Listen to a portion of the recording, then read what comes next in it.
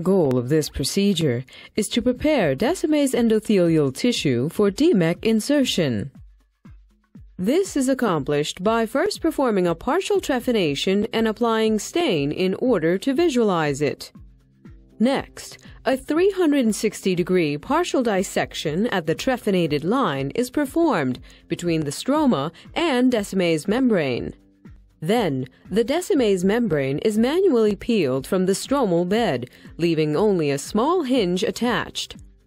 Finally, the Descemet's membrane is returned to the stromal bed, and any residual liquid between them is removed. Ultimately, Descemet's membrane endothelial keratoplasty using pre-cut tissue preparations is a safe and repeatable form of controlled manual tissue dissection used to treat endothelial disease. The main advantage of the eye bank preparing the Descemet's membrane endothelial donor tissue is that it reduces the risk of tissue loss in the preparation and improves efficiency in the operating room for the surgeon. Generally, surgeons new to this technique may struggle at first because they may find it difficult to avoid tearing Descemet's membrane, especially during the partial dissection and the Descemet stripping. Visual demonstration of this technique is critical because the separation steps are difficult to describe, in particular the successful delineation between Descemet's and stroma. Demonstrating the procedure will be Lauren Johnson, the manager of tissue processing from the Midwest Eye-Banks, Michigan laboratory.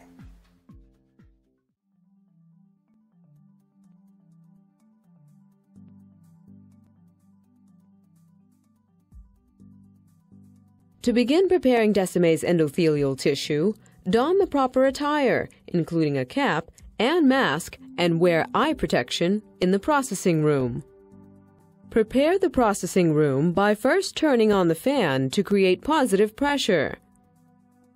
Organize all the supplies, making sure to check the expiration dates, integrity of packages, and sterilization indicators. With freshly washed hands and while wearing sterile gloves, establish a sterile field by aseptically opening the wraps. Avoid using the outer one and a half inches of the wrap as part of the sterile field, as this portion is considered unsterile. Drop the sterile items onto the sterile field.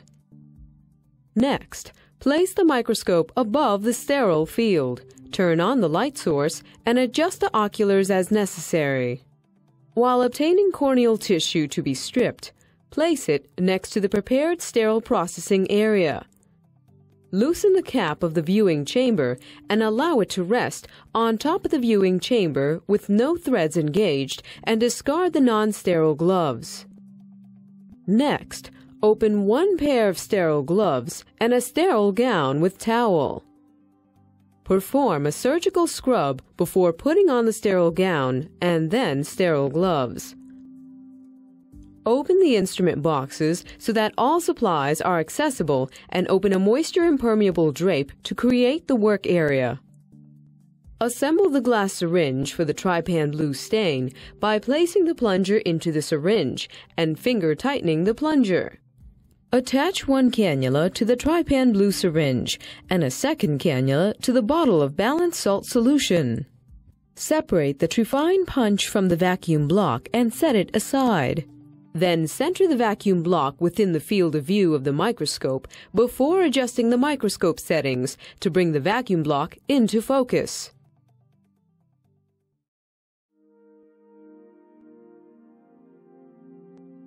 Using a foil square as a barrier, lift the lid of the viewing chamber. With the opposite hand and using forceps, grasp the cornea by the sclera rim to remove the cornea from the storage media. Then replace the lid of the viewing chamber. Completely depress the suction syringe. Then place the cornea, epithelial side down, on the vacuum block and ensure that it is centered.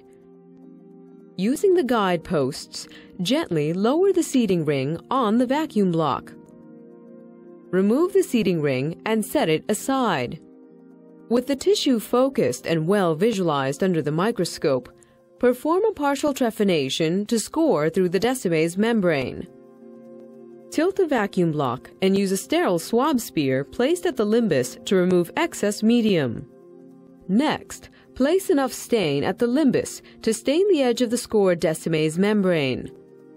Allow the stain to remain on the endothelium for 60 to 90 seconds. Then, use the surgical spears to remove excess stain from the limbal area of the cornea, taking care not to touch the endothelium. With several drops of BSS, rinse the cornea of staining solution and use sterile swab spears to remove excess BSS. Then, place 1 to 2 drops of BSS on the sclera rim to prevent the tissue from drying. Repeat as necessary throughout the procedure.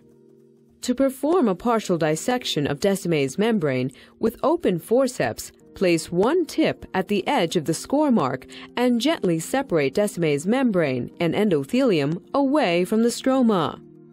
Separate Descemet's membrane and endothelium not more than 1 to 2 millimeters from the scored edge and continue the dissection 360 degrees around. Note the location of any micro tears by using a skin marker to place a dot on the vacuum block. Use forceps to remove any endothelial tags that overlap the score mark. Then, Locate the previously marked micro tears and rotate the vacuum block so that the largest is at 6 o'clock. This will become the hinge of the flap. Next, using the forceps, grasp the Descemet's membrane at 12 o'clock. Then, gently separate it from the stroma by peeling it towards the hinge. Create the hinge by stopping the separation 2 millimeters from the score mark. Gently lay the flap back in place on the stroma. Use BSS and swab spears to unscroll the endothelium and return it to its original position. Remove residual fluid from between the Descemet's membrane and the stroma so that the flap stays in position. Soak up any excess moisture from the sclera near the hinge. Use a skin marker to draw an arrowhead on the sclera rim, pointing it to the center of the hinge, and remove any excess ink. Release the vacuum by depressing the piston of the syringe connected to the vacuum block.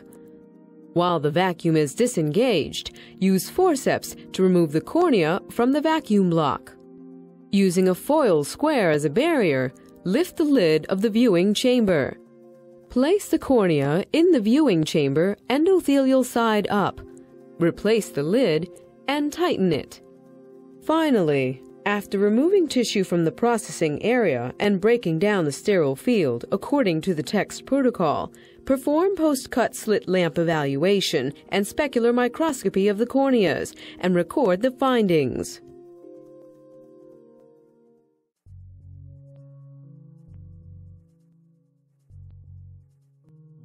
Fifty donor corneas with a mean age of 65 plus or minus 6 years death to processing time of 5.9 plus or minus 2.3 days, and endothelial cell density, or ECD, of 2,616 plus or minus 321 cells per square centimeters were used to assess feasibility and reproducibility of the surgical preparation technique.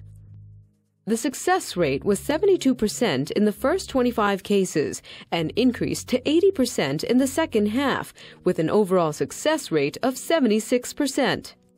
Point by biserial correlation, or RPB, was used to determine correlation with preoperative tissue factors.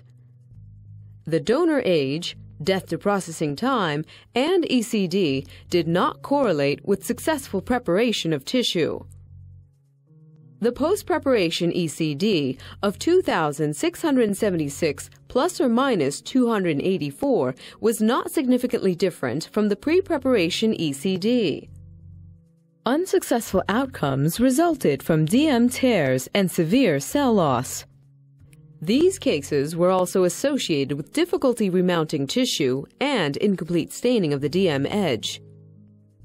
Eye-bank assessment of patient outcomes from nine DMEK procedures carried out by five surgeons indicated that one case had a dislocation at one day and one week without need for rebubbling.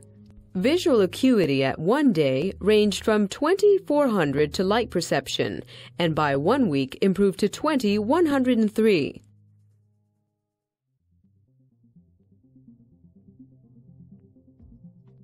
Once mastered, this procedure can be performed in as little as 20 minutes, and with practice, the time tissue remains out of the original medium can be as short as 10 minutes.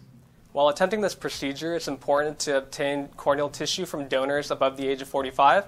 That minimizes the risk of tearing Descemet's membrane. Following this procedure, additional processing can be performed, such as the application of orientation markings, which identify which side is the stromal side of the membrane.